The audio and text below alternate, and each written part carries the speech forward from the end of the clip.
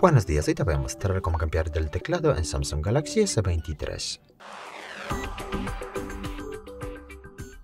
Para eso abrimos la aplicación Ajustes, la con este icono, y luego más abajo buscamos la pestaña Administración General, es una de las últimas de aquí, y buscamos la pestaña Ajustes de teclado Samsung, porque es nuestro teclado actual y preinstalado en este caso.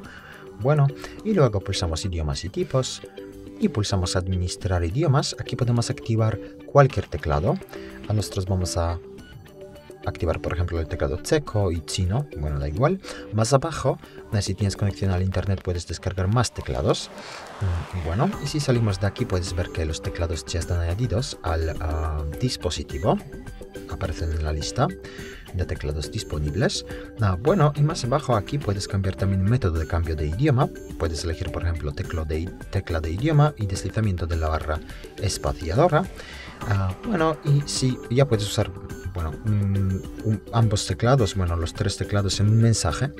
Ah, pero si quieres eliminar uno de los teclados de aquí del dispositivo, pulsamos administrar idiomas de nuevo y bueno, desactivamos los teclados aquí. Y si salimos de aquí puedes ver que los teclados ya están eliminados. Muchas gracias por ver el vídeo, te invito a comentar abajo y suscribirte al canal. Hasta luego.